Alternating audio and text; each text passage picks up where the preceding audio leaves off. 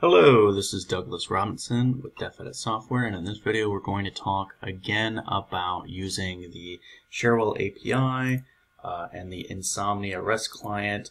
Uh, previously I'd done a video on how we could use Fiddler and Insomnia for testing the API, and it was pointed out to me, I realized shortly after the video was posted, that I forgot to go over a very neat feature of the Insomnia REST client here, and that is that you can actually have it set up to grab OAuth credentials or a token automatically.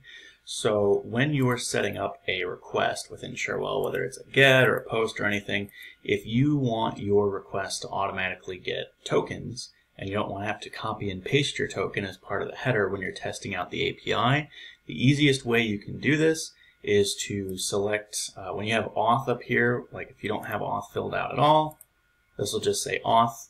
You click the drop down, you select OAuth 2.0, and then from here, there's something else you need to configure where it says grant type. You want to select resource owner password credentials.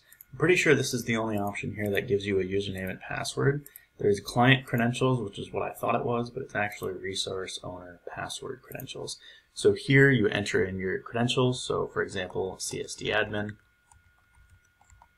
the username and password. From then you need the access token URL. So in this case, I'm going to put in my uh, demo server URL. Give me one moment to type that out.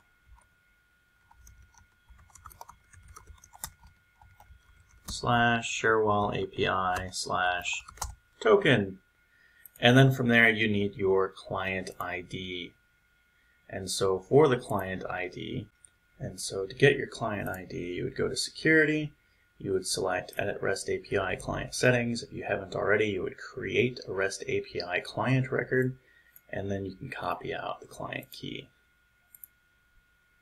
And then from there, we paste that into client ID. You don't need a client secret. The Cherwell authentication uh, for the API does not provide a client secret, even though the web page itself has a spot for one, so that's something that trips up a lot of newer users. And then from here, you can actually press fetch tokens, and it should fetch those tokens automatically. Uh, I believe if you send a request, it'll automatically fetch those tokens. And it tracks when they expire. So you can see this says expires in 20 minutes. It will go and grab that token for you. Oh, sorry, I'm pinging the wrong server up at the top. This is my local environment, and I need my demo environment. Now this should work. Ta-da! Look at that. So you don't even have to send the request separately. If you put in CSD admin, or not CSD admin, if you put in your OAuth 2 for the auth type, resource owner password credentials, username, password, token URL, client ID, it'll just automatically manage that for you. And it makes testing out the API exponentially easier. And so then later, if you need to test this with multiple methods, which you might if you're doing a very complex integration, you can duplicate this. And if you duplicate this, it duplicates the authentication information, so you don't have to type it all out again. And so I believe if I close this out and then I go back into my Insomnia REST client. It should still be there. So the next time I need to execute that request, it will still work. And so if I drop everything I'm doing and come back to this three months from now and I need to retest that API method, the next time I send that API method, it fetches the tokens automatically for me. And so that's it. Um, this was a very important bit that was missed out of the previous video on using the Insomnia REST client and the Cherwell uh, API to authenticate and using Fiddler to view the traffic that's being sent there. So here we can see the request that's being sent out. We can see the response that's being returned. Um, I don't know if this request is accurate because this is supposed to also send the client ID as part of the token request.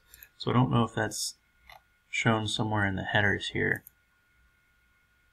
I don't know. It is sending it out properly and it is getting a response. If you ever send out this request, typically you'll be sending out the client ID as part of this uh, REST body though. So don't don't take this specific part for granted. It seems like Insomnia sends that request out differently than the way that I typically do. But um, you can see here's what actually gets sent back as the response. So you have the access token. And this is correct. The access token is pretty much everything from this quote all the way back to this end quote. It's huge. This is a JSON object. So if you're processing this within Cherwell or some other tool where you have, you know, modifiers for accessing JSON properties, you would just treat this as a JSON data type and you would find the access token object and you would, uh, within Cherwell specifically, you would grab the string from element on the access token object and it would get back this beautifully long value.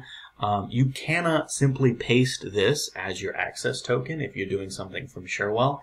You have to preempt it or you have to prefix it with bearer and then a space for some reason they're looking for that. And um, yeah, that's about it. So that's how you can use the Insomnia REST client to send a request into Cherwell and have it automatically fetch tokens for you.